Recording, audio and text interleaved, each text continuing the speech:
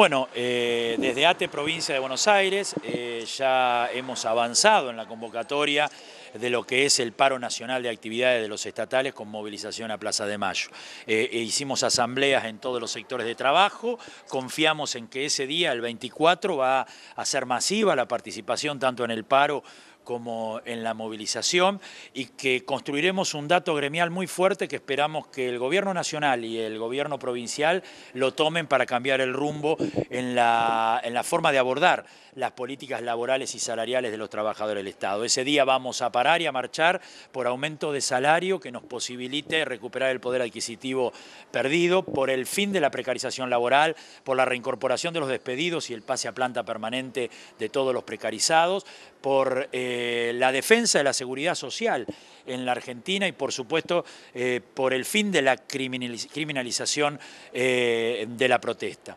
entendemos que van a haber miles de trabajadores transitando las calles de, la capital federal y de, todo, y de todo el país y lo vamos a hacer inflados del pecho con el orgullo de ser trabajadores del Estado. Los trabajadores del Estado, lejos de ser ñoquis, somos quienes sostenemos día a día la escuela pública, el hospital público, los organismos de niñez, las distintas áreas del Estado, a veces a pesar de las políticas de vaciamiento como en este momento que están desarrollando los distintos gobiernos. Allí están los auxiliares de educación dándole de comer a los pibes, los maestros, enseñando a, a los chicos de la barriada del Gran Buenos Aires, en los hospitales, los médicos, enfermeros, trabajadores sociales, haciendo todo lo posible para paliar las enfermedades de los que menos tienen, y así podríamos enumerar eh, a todos los trabajadores del Estado. Con el orgullo de ser estatal, vamos al paro y movilización del día 24, vamos a hacer miles y esperamos que el gobierno tome este dato y cambie el rumbo.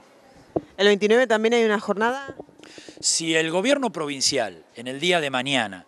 que hay una, reunión, una nueva reunión paritaria, no hace una oferta razonable eh, y sigue ofendiendo eh, la angustia que tenemos los trabajadores del Estado, seguramente el 29 eh, no habrá inicio de clases en la provincia de Buenos Aires, pararemos y movilizaremos a la Casa de Gobierno de la provincia, esto es a la Plaza San Martín.